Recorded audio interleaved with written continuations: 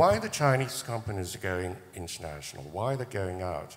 Well, in the past, they were poor, they need capital, you know, they raised a lot of funds from Hong Kong. As you, everybody know, you know, 60% of FDIs actually in China actually was raised through Hong Kong. Hong Kong has played a very important role for China in fundraising. And then later on, they need managerial expertise. They also turn to Hong Kong.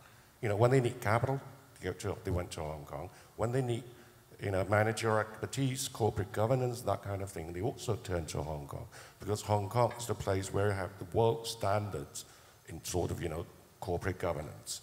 And then when it comes to accounting rules, they get to Hong Kong. Legal, you know, they get to Hong Kong. And then, you know, for a certain period of time, for those technologies, you know, labor intensive processing technologies, they also turn to Hong Kong. But now, of course, many of the Chinese companies have changed. They have money, and they want larger market. You know, they already test their products in China, and some of them actually have become world brand name. And they want the market. They want technology in the international market.